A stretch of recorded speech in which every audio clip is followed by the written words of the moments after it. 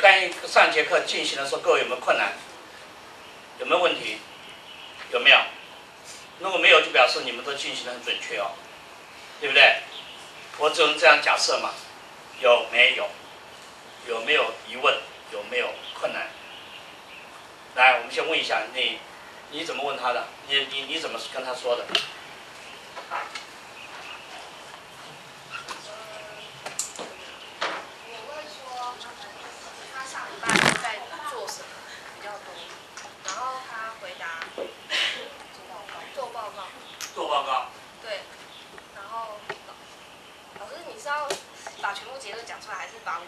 过程，过程，然后就说，因为我们要求那个所谓的准确啊，就每一个过程都要确定，因为你这样你后来得到的结论呢才会完整。好，我问他说，那你是做什么样的报告？然后呢，他是说他在做苏格拉底对话法的报告。然后我再问说，那你你做的感觉是怎么样？他说很麻烦。我说，呃，为什么会麻烦？是，然后他就说，因为他们要做的题目是关于真理。然后呢，我就说，那是因为跟是因为团体做报告很麻烦呢，还是因为那个个人做真理麻烦？所以这注意了，你给了他一个选择，对不对？所以因为你给了他一个选择，所以他回答的时候他就可能可以有第三个选择。好好，继续。然后他说，不是因为团体做真理很麻烦，而是因为真理这个。题目本身很困难，然后呢，我说为什么会觉得很困难？他说因为探讨到最后真理没有结论，没有解答，所以他觉得很麻烦。好，所以那你再就问不下去了。对，我就帮做总结。对啊，所以你看这样，所以你看到没？当我们要精确度的时候，你就不能继续加了逻辑，因为问加了逻辑下去后果是什么呢？就是你自己没办法再去跟他讨论，啊你们谈话就结束了。前后才五分钟，对不对？所以这时候我们就发觉困难，好不好？好，你呢？你问他什么？你们两个。我问他圣诞节要做什么，他说他。是未来，那是未来式。因为圣诞节是未来式，对不对？所以不确定的。好，那你问他。现在是。说吧，刚才你的过程。然后他说圣诞节他要去帮一个剧团搭舞台，然后问说是什么样剧团，他说是黄天蓝天剧团。然后我问他说那是跳什么样的舞，他说是在跳舞踏。我问他在哪里，他说是在乐声疗养院的那舞踏。然后我问说是不是当天晚上他们就要有一个演出，他说不是，那演出其实是有两次还是三次。然后所以我说那天是第一天，第是不是？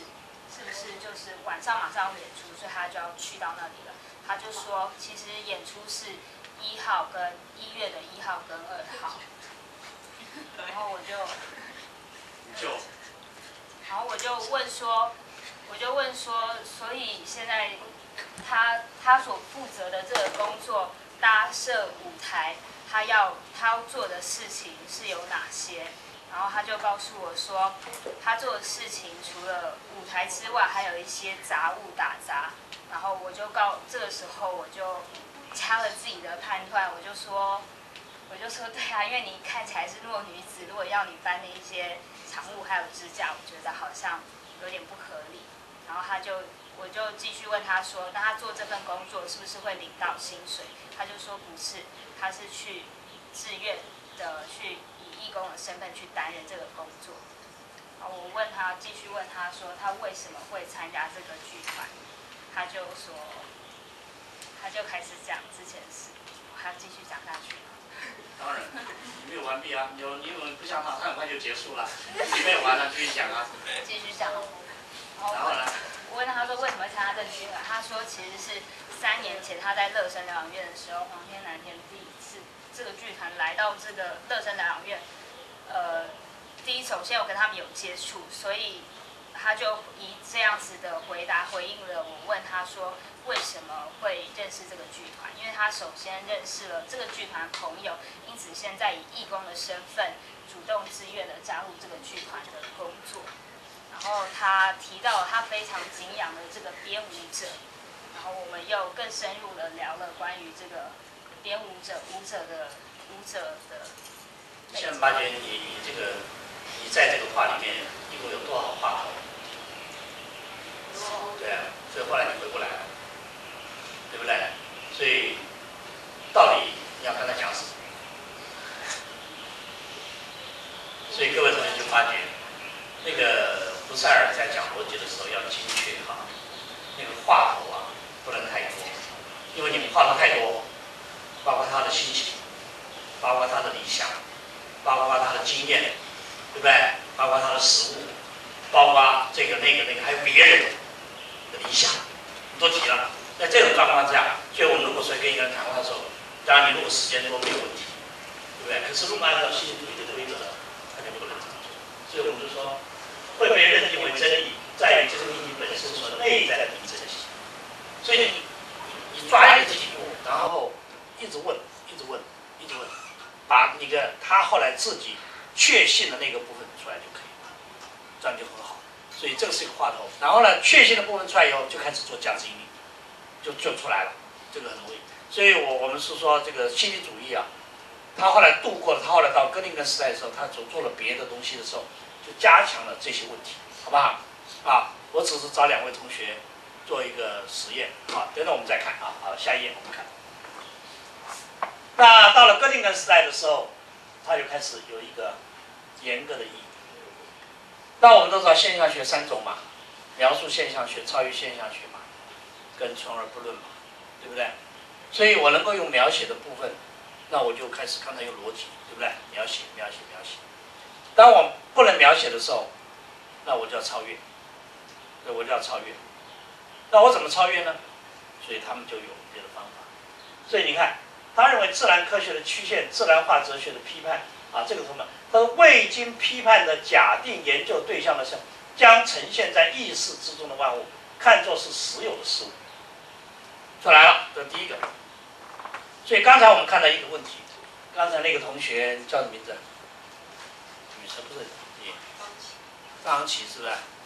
比如方琦里面有一些东西是呈现在意识之中，可是呢，这些意识还没有成为实有物，现象学者把它当成了是实有，所以因此我们可以谈未来，谈未来。可以谈未来，啊，这个是很重要的。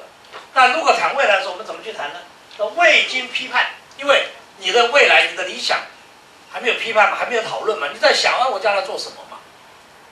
比如举个例子，如果你跟我谈话说说校长，听说你再过两年就要退休了，我说对，那你退休以后要做什么？我就说，那我后来退休以后，我还有很多书想写。我还有我欠很多书嘛，我把这书上写出来嘛，啊，著作。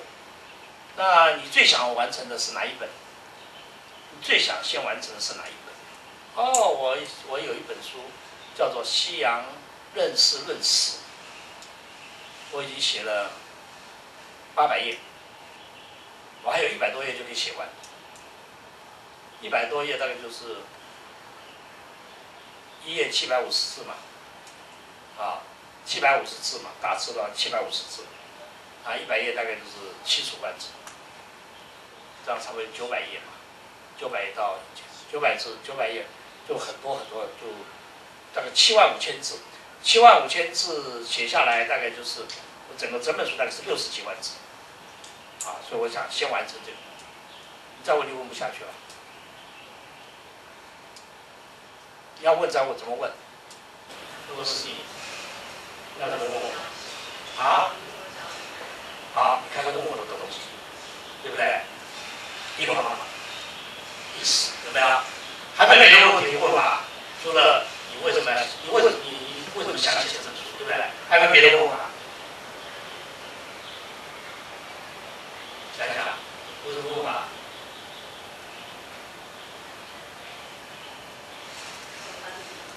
啊？为什么他是我最想完成的第一本书，对不对？啊，就是退休以后的第一本书。第二个问法，第三个问法，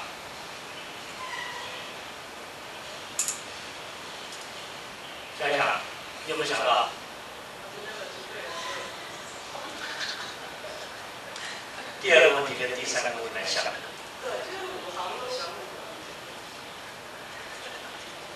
你们觉得有点无聊？不知道你没有回答。所以，因为我没有回答，是你一直在问，一直在问嘛。啊，你呢？期许是什么？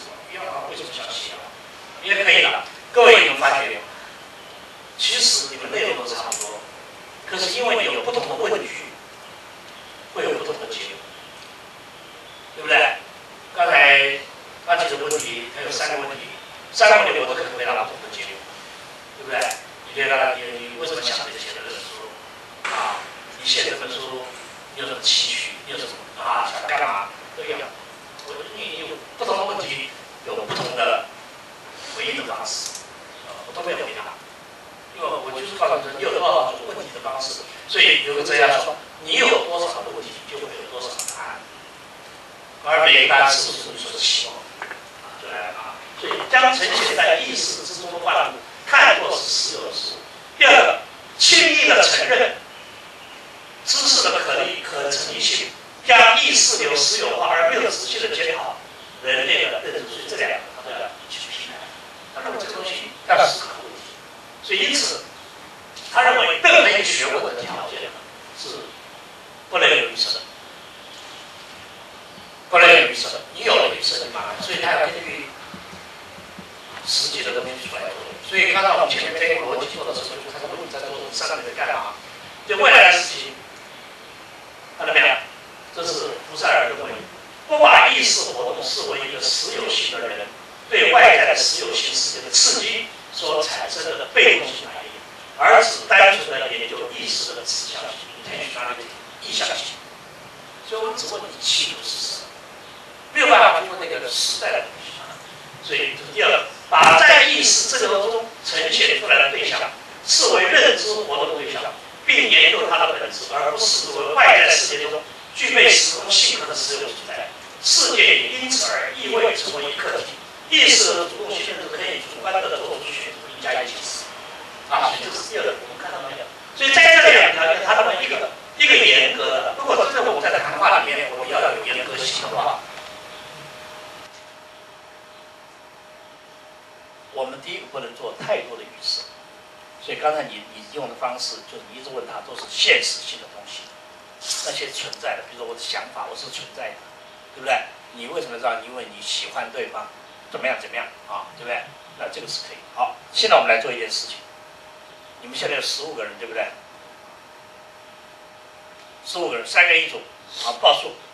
三呃，这是五组哈。呃，一二三四五报数啊，一到五报数。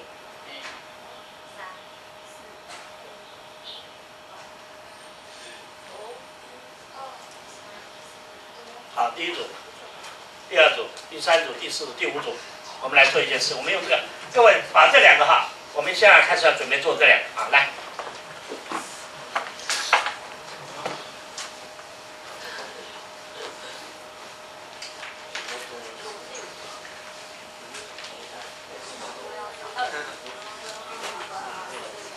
好，第一组请坐，第一组在这里。第一，第一组。第二组，第三组，第四组，第五组，怎么样？你们两个又是一组啊？啊？你们两个又是一组吗？好，各位，现在请注意啊，注意看我这个模式啊。第二点，把意识之流中呈现出来对象视为认知活动的对象，那。意识之流中所呈现出来的对象，什么叫？就是你现在意识里面，啊，比如说我举个例子啊，我讨厌的一种人，注意这句话，我讨厌的一种人，跟我讨厌的人一不一样？我讨厌的人有没有具体化？有没有具体？我讨厌的人有没有具体？有。我讨厌的一种人，在诉说什么？哎，某一种行为，某一种个性，对不对？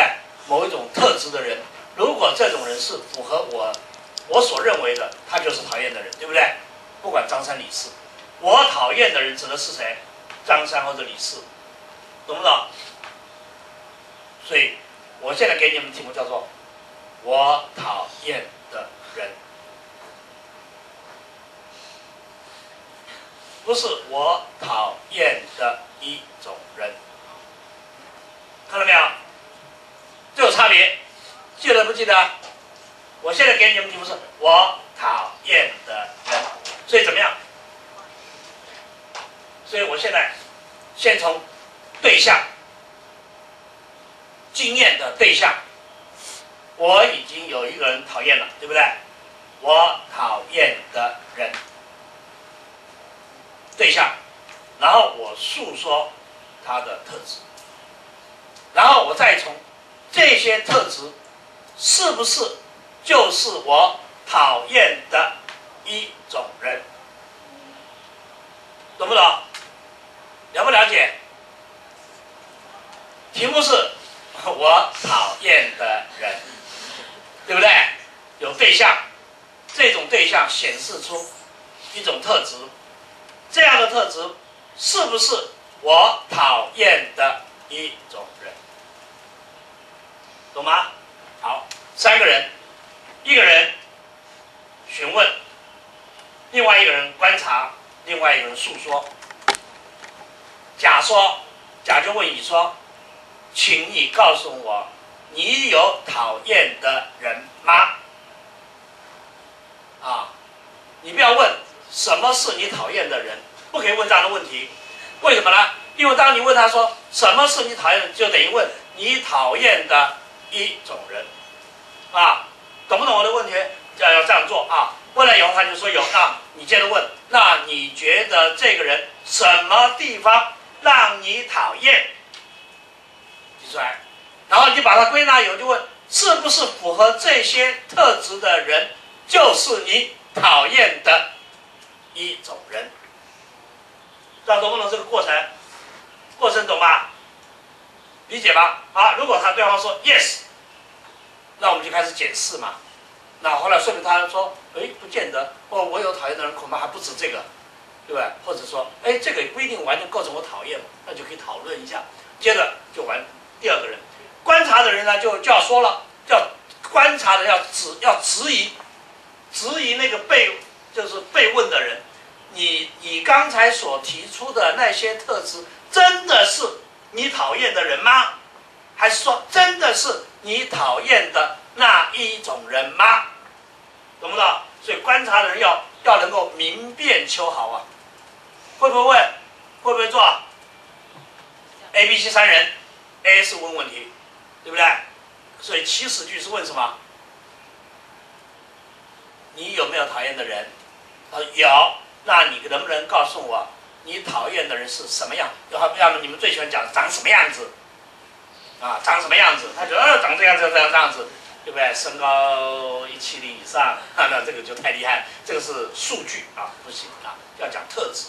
完了以后是接着他问说：“那是不是你讲的那些特质就是你讨厌的一种人？”